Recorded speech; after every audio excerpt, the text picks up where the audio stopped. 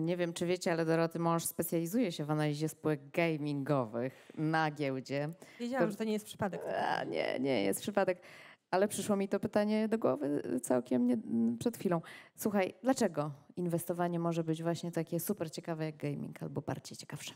Znaczy właśnie, po pierwsze, jedno nie wyklucza drugiego. Ja sama ogólnie y, w ogóle jakby jestem też gamerką, więc ja sobie lubię pograć y, w różnego typu RPG i, i na przykład też należę do takich szczęśliwców, którzy kupowali akcje CD Projekt, jak były po kilka złotych. Więc i inwestuję w spółki gamingowe od lat i w sumie też sama gram w różnego typu gry, aczkolwiek jakby wiadomo, trzeba wybrać, bo nie mam czasu na wszystkie. No ale po pierwsze, to jest ciekawe, dlatego że inwestowanie samo w sobie jest pewną grą. E, czyli my wybierając coś, my jakby obstawiamy jakiś scenariusz, my podejmujemy ryzyko, e, żeby po prostu na tym zarobić. Też oczywiście jest mnóstwo różnych sposobów na to, żeby ta kasa dla nas pracowała. E, to, co mi się podoba najbardziej w inwestowaniu, to jest to, że my wprawiamy kasę w ruch. Że ona nam nie leży na koncie i czeka w sumie, nie wiem, aż ją inflacja zeżre, tylko po prostu ona cały czas dla nas pracuje.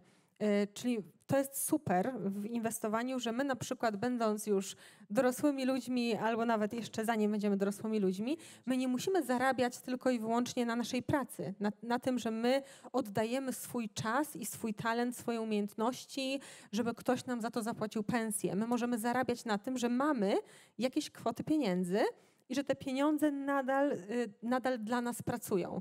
E, to jest moim zdaniem, e, czasem to jest nawet lepsze niż, e, niż granie, bo to też wymaga podjęcia pewnego ryzyka, to też wymaga sprawdzenia pewnych rzeczy. Mm, właśnie chociażby tego, że my sobie możemy z tych setek spółek, nawet w Polsce, a na świecie to z dziesiątek tysięcy czy setek tysięcy, wybrać po prostu coś, co nam się podoba. I my po prostu tak, tak szukamy w ogóle tego swojego skarbu, e, który nam e, da zarobić jak najwięcej.